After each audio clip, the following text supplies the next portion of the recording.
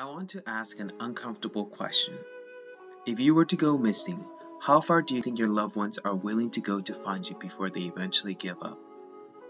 I want to shine the spotlight on the story about a devoted Chinese father who spent over 15 years traveling thousands of miles to China, spent all of his life savings, broke multiple bones, and in the process ruined numerous motorcycles to find his missing son. In the year 1999, a father lost his two year old son to child trafficking. Thus began his long journey to find his missing son. The father would place large banners with information about his missing son on his motorcycle, and he would also use the internet to seek online help.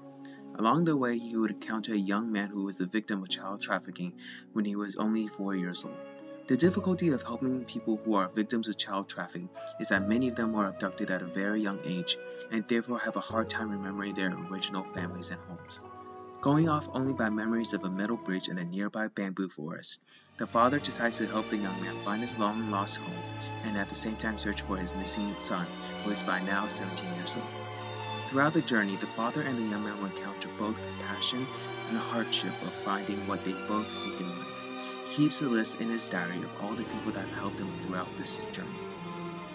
The movie is inspired by the real-life story of a father named Guo Gangtang, who is portrayed by the legendary Hong Kong actor Andy Lau. I really enjoyed the film and the performance by Andy Lau's portrayal of the father was superb. The emotions he brought out really makes you sympathize even more with his character. He is caring and faithful to the real-life story of Guo.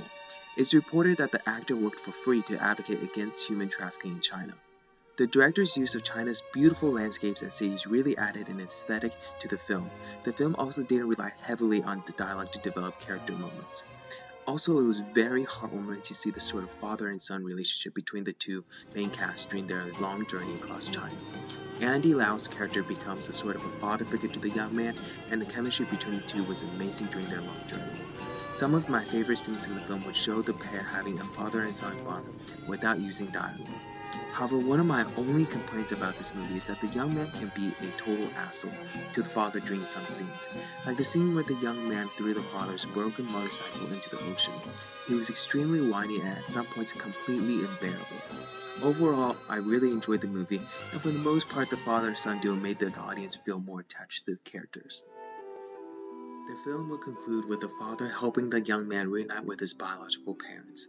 You see the father happy to help a family reunite with their long lost child.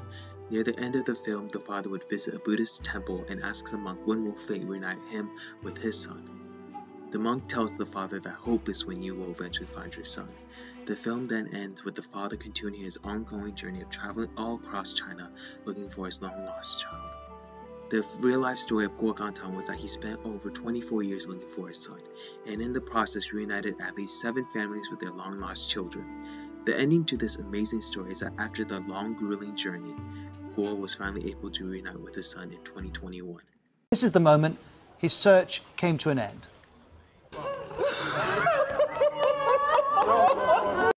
Thank you for watching. If you liked the video, please like and subscribe. Also check out my other Chinese film recommendation videos if you want to see more.